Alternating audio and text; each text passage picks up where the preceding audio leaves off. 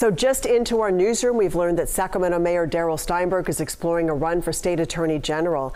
And welcome back. I'm Edie Lambert. And I'm Ty Steele. Thanks for joining us. He filed paperwork this week that will allow him to raise funds to run for the attorney general. We caught up with the mayor just over an hour ago and asked him what's next. I have not decided yet. I'm going to take a serious look at it, but there are a lot of uh, a lot of moving parts, right? Rob Bonta is a very good attorney general, hasn't decided whether he's running for higher office or not. So I don't know, but I, I, um, I, I know this that I have 14 months to go. I'm, gonna, I'm working my heart out for the city of Sacramento. I'm not running again. Um, and whatever I do next, it's going to be good. The state's campaign finance data does not yet show that the paperwork's been processed, but this has been a rumor for a while. Back in May, the mayor said that he would not be running for a third term as mayor and that he might be interested in running for attorney general.